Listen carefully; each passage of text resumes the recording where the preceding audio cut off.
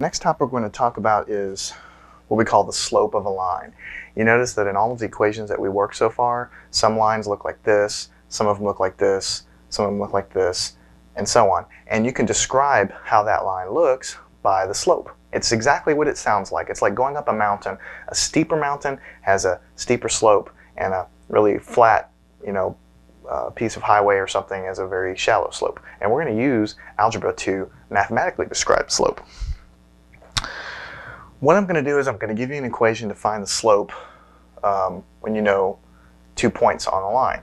So let's say you have a slope, uh, uh, you know, um, two points like this, one comma three, that's one point, and two comma four. Now we could draw a graph and we could plot those points and we could get the line. But I'm going to define what I call the slope. The slope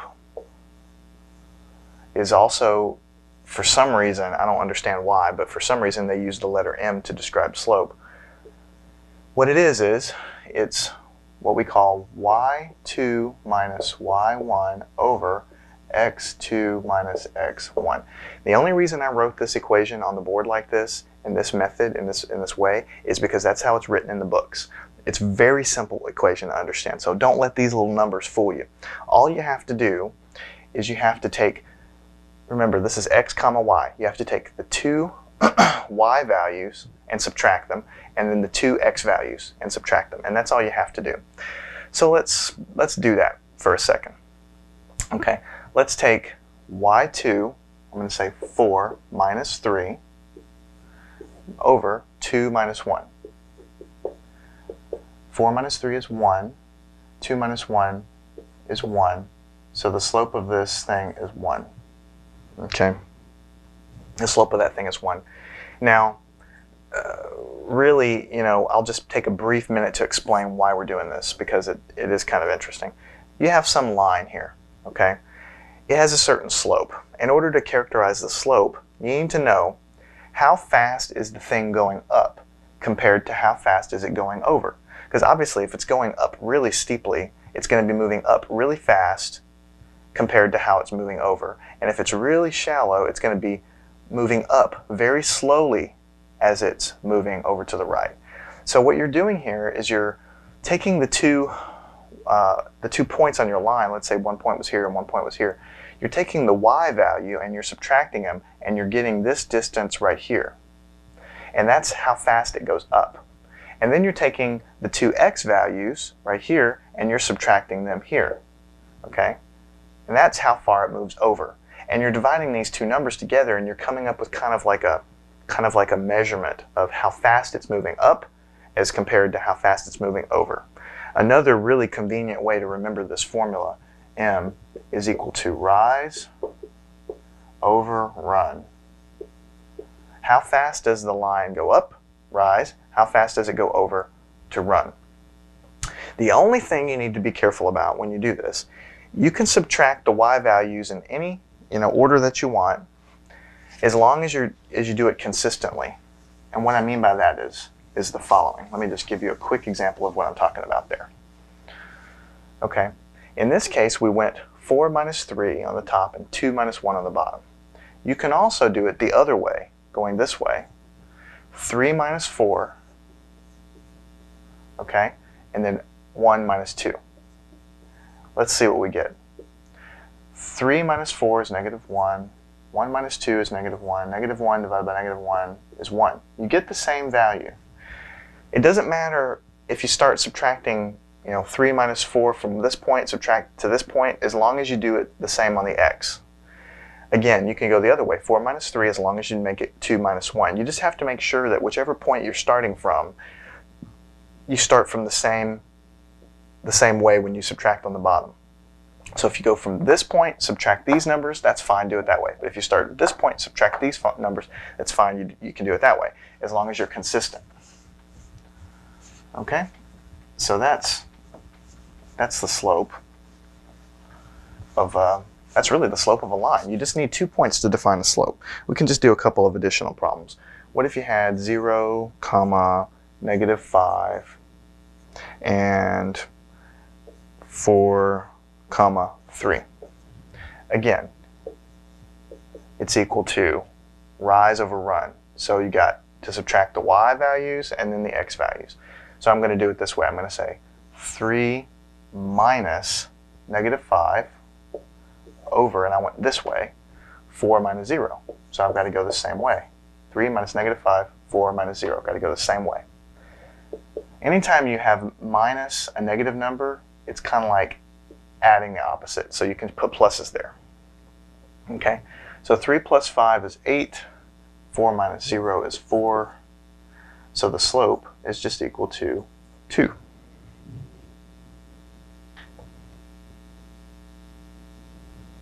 Okay.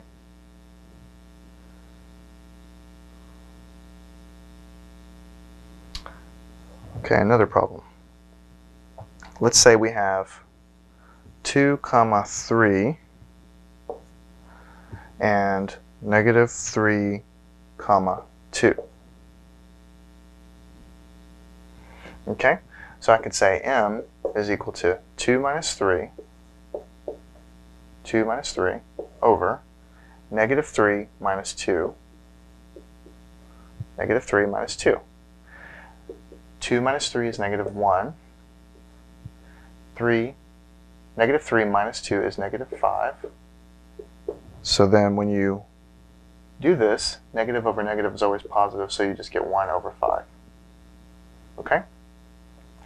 Most of the time, when you find the slope of something, it's going to be a fraction. Okay, most of the time it is. And all this fraction means is that, remember, it's rise over run. Rise over run. Okay, so what that means is every time I go up, I go over five times.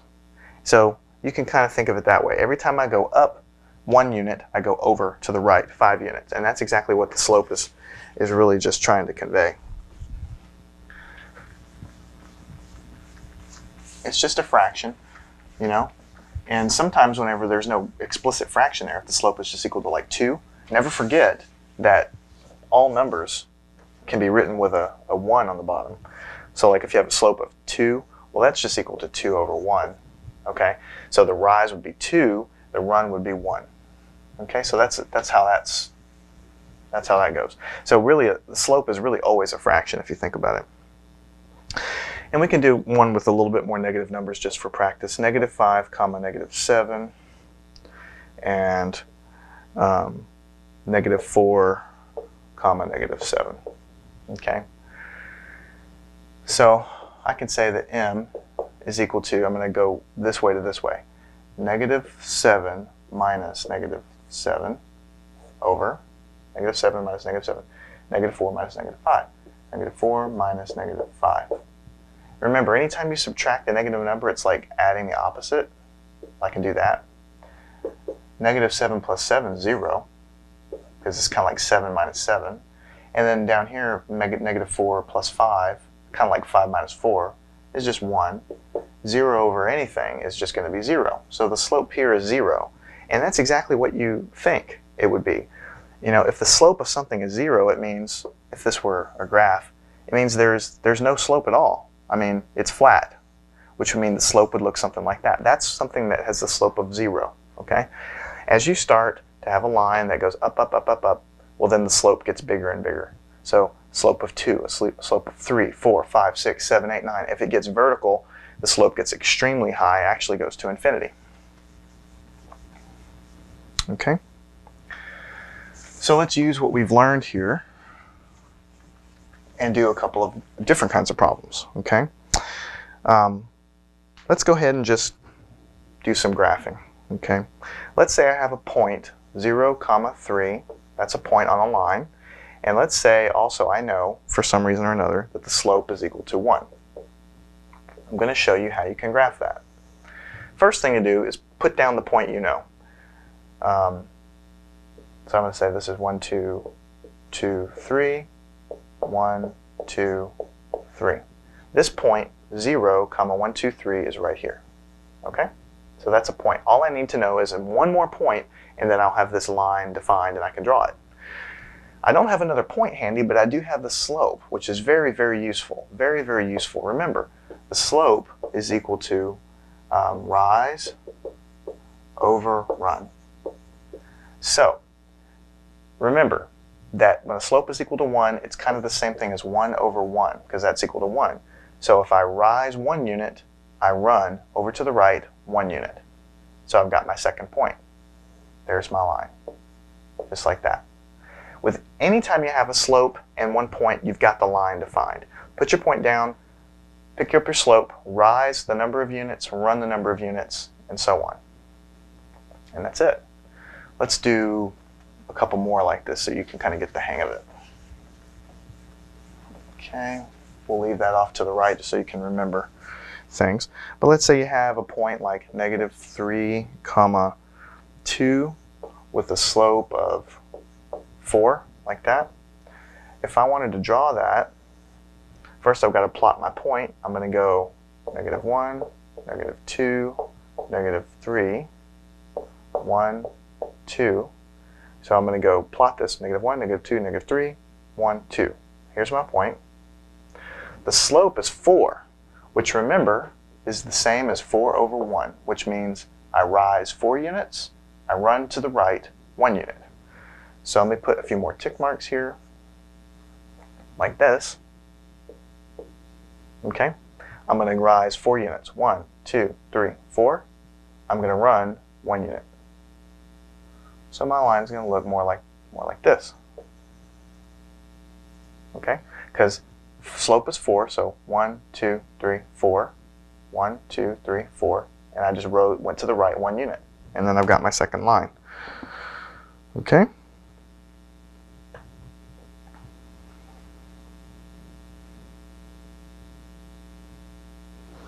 Okay.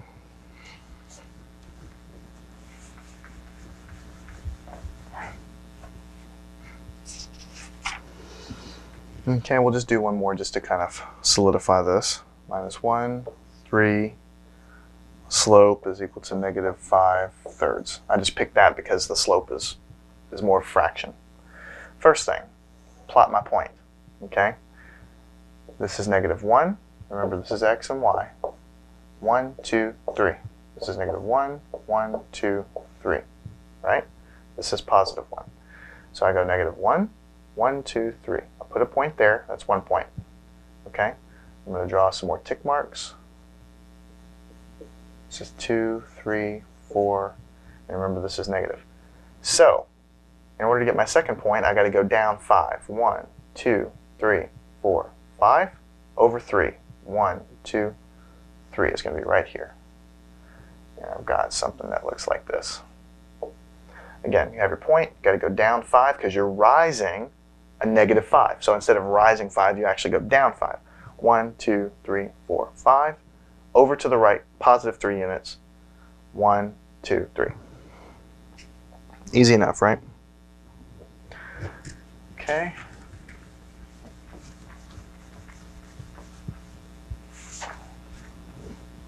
The final kind of problem we're going to do is kind of a different kind of graphing problem. Now we're going to explore equations of a line. I'm going to show you a trick, and this is going to be really, really useful. Remember when we were plotting uh, equations of a line, like let's say we had 3x plus 3, and we had a couple different ways we could do this in the other chapter. We could make a table with points, plot them. We could also you know, put a y-intercept and an x-intercept, put 0 in here and find what x is and all that stuff. Okay? Well, I'm going to let you in on a, on a very useful thing to know, and that is when you're looking at an equation of a line like this, whatever is written in front of x, that is the slope. Okay, that's very, very, very useful to know. Very, very important. Okay, this is called the slope. This is called the y-intercept. Okay? And the reason it's called the y-intercept is because if you put x equals 0 in there, okay, if you if you put x equals 0 in there, you're going to get y equals 3. And remember, that's the definition of the y-intercept. If I put x equals 0 in here, then I get an intercept along the y-axis of 3. So I don't know where else the line goes, but I know it goes through that point right there. Okay. So if I want to graph this thing, I can do exactly that. I can take this y-intercept, I can put it on the y-axis like this. 1, 2, 3. Y-intercept is 3. And then I can just do the same thing I did before. I can I can continue up here with my labeling. This is four, five, six, seven, one, two, three. I've got a point. The slope is equal to 3, so I'm going to rise one, two, three. I'm going to run to the right 1. So that's going to be my line right through that point right there. Okay? We went through that a little bit quickly, so let's just do some more examples. That's how you learn this stuff, is by just doing examples.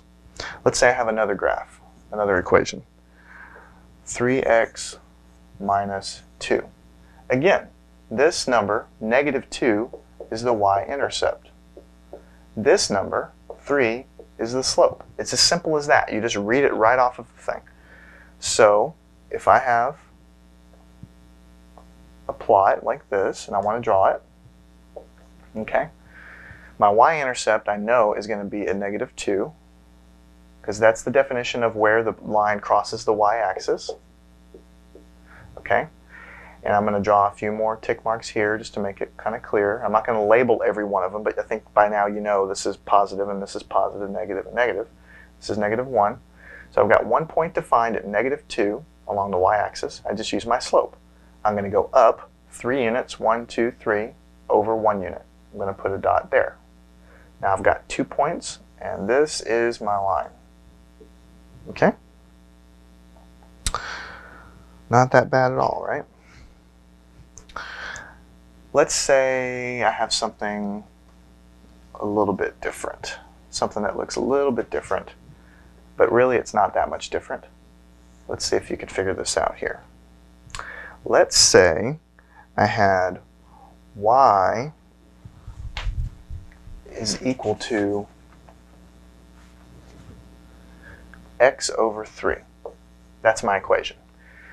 Usually I was telling you the y-intercept is what's kind of written off here to the side, the plus whatever, okay? But there's nothing there. So what, what do you use for your y-intercept? Well, when you think about it, you've always got plus 0 written out here. So your y-intercept is 0. So that means your y-intercept is right here, okay? Then you've got this to deal with, and you're like, well, geez, that looks a little bit different than the other ones. Well, you've got x over 3, but that's pretty much the same thing as 1 third times x. I mean, think about it. 1 third times x, I mean, I can just put the x on top.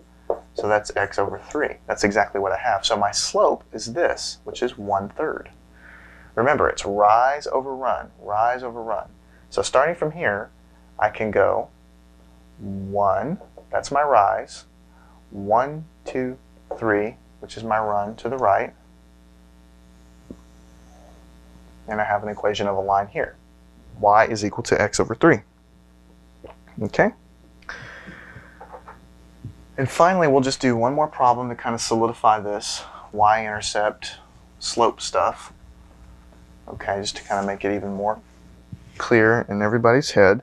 If I had an equation like 5 thirds x plus 1 half, and I wanted to graph that, the y-intercept is here, the slope is here. It's 5 thirds, okay? So I'm going to put some tick marks here, and I'll put some tick marks here, okay? The y-intercept, if this is 1, 2, 3, the y-intercept is 1 half. So the y-intercept is actually in between there, like that. And my slope, I just put my y-intercept there, my slope is just 5 over 3, or is rise over run. So I'm going to go 5 units up, 1, two, three, four, five. Three units over. One, two, three. I've got my two points. That is the equation of that line. So anytime you have an equation of a line written like this with some number in front of x plus something, this is what we call the standard form of the equation of a line. All you need to do is you pull out your slope, you pull out your y-intercept, which is this number right here, put your y-intercept on the board, and then use your slope to kind of count up and over to get your second point. And it's kind of common sense that you only need two points to define a line. Once you have those two points, you draw your line and you're done.